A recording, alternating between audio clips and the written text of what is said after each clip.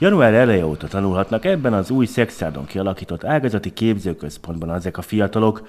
Ők járműmehatronikus képzésen vesznek részt, vagyis a régebbi nevén autószerelők lesznek.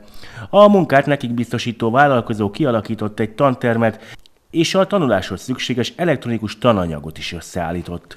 Egy több éves fejlesztés volt, magának a, a, ugye ennek a, a, a digitális tananyagot ugye keretbe foglaló programnak a, a kifejlesztése, annak az összeállítása, illetve maga a digitális tananyagnak az elkészítése. Ugye nagyon sok középiskolai pedagógussal, tanárral segített közreműködésével készült el ez a tananyag hosszú éveken keresztül, és most lehetővé tette számunkra azt, hogy a, a gyerekek, amíg itt vannak a gyakorlati képzőhelyen, és nem a mesterükkel töltik az időt, nem közvetlenül a járművek mellett vannak, abban az egy-két-három órában be tudnak ülni egy irodába, és akkor a, a számítógépek segítségével, ugye a számítógépen lefutatott program segítségével ugye a digitális tananyagot ugye át tudják nézni, és minden egyes tananyag után a gép randomszerűen vizsgakérdéseket tesz fel, és hát ennek köszönhetően ugye a tudás szintmérést is önmaguk el tudják végezni. A fiatalok egyelőre a járműmehatronikai képzésből kerülnek ide, de hamarosan karosszéria lakatos és autófényező tanulók is a cégek telephelyein tölthetik a teljes tanidejüket.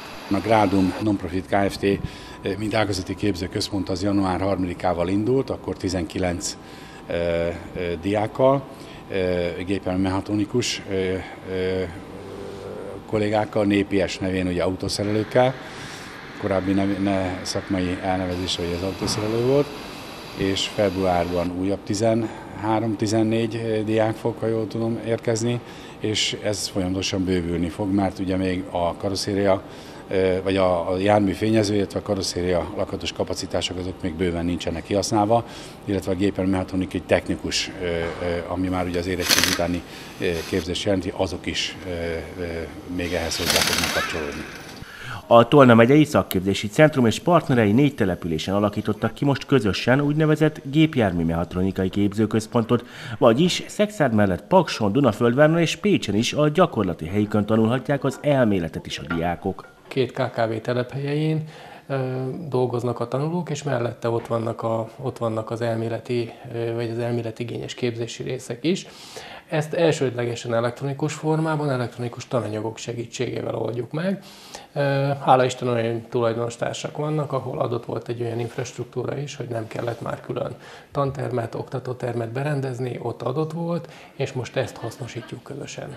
Dömötör Csaba, a szakképzési centrum kancellárja azt mondja, ezzel a kezdeményezésük az ország első három képzőközpontja között jött létre. Ahhoz, hogy ennek eleget tudjunk tenni, és eleget tudjon tenni mindenfél, aki érintett a, a képzőközpont működésében, ahhoz az szükséges, hogy innovatív legyen, legyenek olyan tevékenységei, még túlmutatnak egy napi szintű általános duális képzésen.